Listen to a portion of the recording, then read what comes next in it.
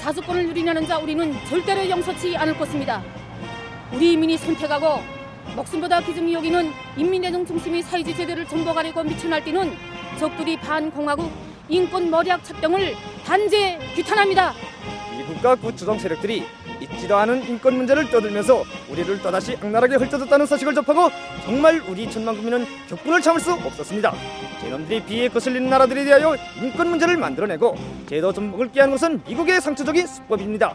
미국은 우리 인민의 놓고 참다한 권리에 대하여 얻어하며 유엔 무대에 끌고 다니느니 차라리 인권 불모지로 만든 제놈들의 정책이나 바로잡는 것이 좋을 것입니다. 미국 놈들을 비롯한 구초종 세력들이 우리나라에 대해서 그 무슨 인권 교리안을 채택하였다는데 격분을 금할 수 없습니다.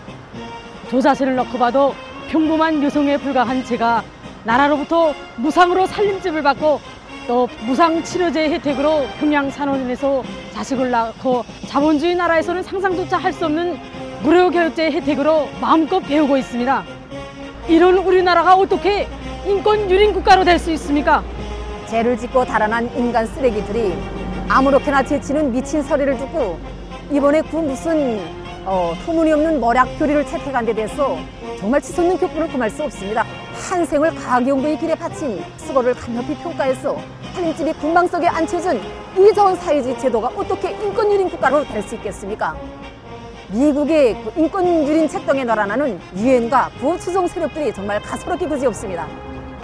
미국 놈들을 단매에 접었을 때 대한 국방위원회 성명은 천백 번 종당합니다. 우리가 잠다운 인권을 짓밟히고 국권과 자주권까지 짓밟히면서 수수방관할 수는 절대로 없습니다. 이제 이제와 구에 주정한 인간 쓰레기들은 똑똑히 알게 될 것입니다.